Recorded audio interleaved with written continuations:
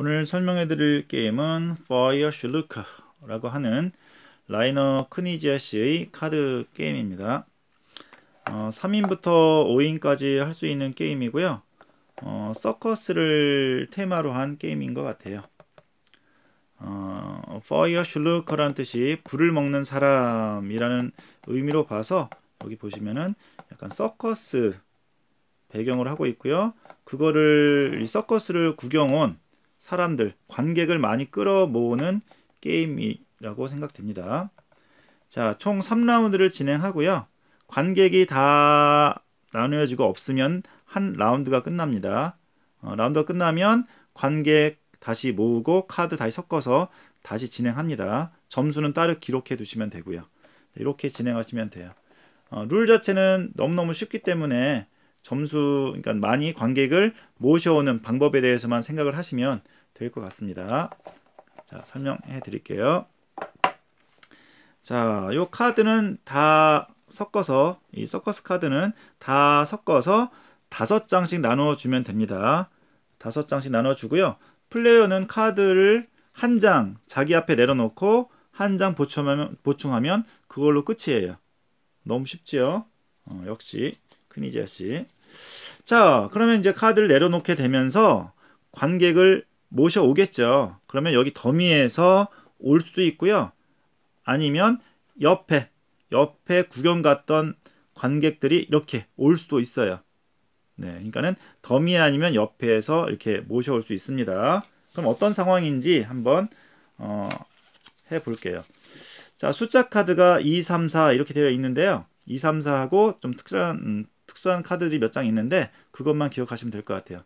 제 차례에 카드 한 장을 내려놓습니다.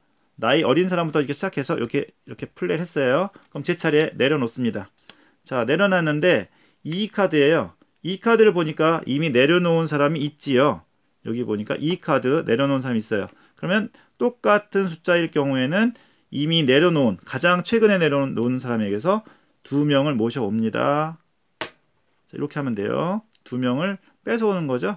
어, 이렇게 하면 되고요. 만약에 뭐 다른 숫자다. 여기 보시면 이렇게 다른 숫자다. 어, 숫자 다르죠. 다른 숫자일 경우에는 그냥 네 분을 여기에서 모셔오면 되겠습니다. 더미에서 이렇게 모셔오면 돼요. 너무 쉽죠? 어, 같으면 그곳에서 모셔오고 다르면 더미에서 모셔오고 이렇게 하시면 됩니다. 자, 또 다른 특수한 카드가 몇 장 있는데요. 자, 솜사탕. 자, 이거를 내려놓으면요. 이 더미에서 두 분을 모셔도 되고요. 아니면 원하는 곳에서 원하는 곳에서 두 명을 모셔오면 되겠습니다.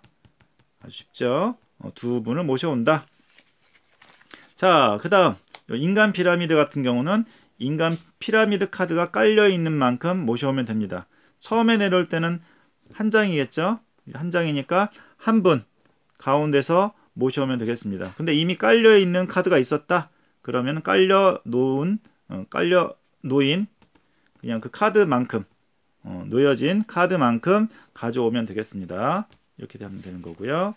자, 그다음에 광대 카드는요. 손에 든 광대 카드를 원하는 만큼 내려놓을 수 있습니다. 이렇게 겹쳐서 내려놓고요. 어, 이 광대 인원수만큼 가운데서 가져오면 돼요.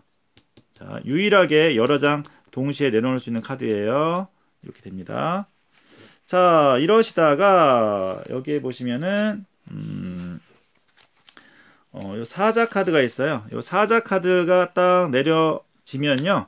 현재 모든 플레이어들이 현재 자기 앞에 있는 요 카드만큼 가운데 반납을 합니다. 이건 반납하게 하는 카드예요. 광대는 그냥 한, 한 명 반납하면 되고요. 숫자 카드는 이 숫자만큼 반납하면 되고요. 그러면 아까 솜사탕 있었죠?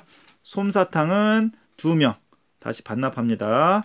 그 다음에 아까 인간 피라미드 인간 피라미드 같은 경우에도 깔려진 플레이어만큼 반납하면 돼요. 그리고 카드 이 앞에 있는 카드 전부 다 섞어서 다시 다섯 장 나눠주면 돼요. 라운드가 끝난 건 아니고요. 아직 관객이 남아 있으니까 라운드가 끝난 건 아니고요. 카드만 다시 섞어서 다섯 장씩 나누어 줍니다. 여기 있는 관객이 다 없어지면 한 라운드가 끝나게 되는 거예요. 자, 그런 식으로 해서 이제 관객이 다 없어지면 점수 계산하시고요. 그 다음에 관객 다시 반납하고 카드 섞어서 다시 2라운드 진행하시면 돼요. 이렇게 해서 3라운드 다 하시면 되겠습니다. 간단하죠? 요 것을 세판 하면 다 된다라고 생각하시면 돼요. 게임 룰 자체가 어렵지는 않으니까요. 이게 쉬엄쉬엄 하시면 될 것 같습니다. 이 서커스를 테마로 한 카드 게임이고요. 상호작용이 굉장히 많아요. 가운데서 가져오는 것도 있지만 서로 뺏어오고 하는 거기 때문에 이 테마를 잘 살린 것 같아요. 이 쇼를 하면서 관객을 최대한 끌어 모아야 하는 게임이기 때문에 그 재미가 나름 있지 않을까 생각해 봅니다. 자, Feuerschlucker라고 하는 불을 먹는 사람이라고 하는 크니지아 씨의 작품 3에서 5인용까지 할 수 있는 카드 게임 간단히 소개해 드렸습니다. 모두 즐거운 보드 게임 하세요. 감사합니다.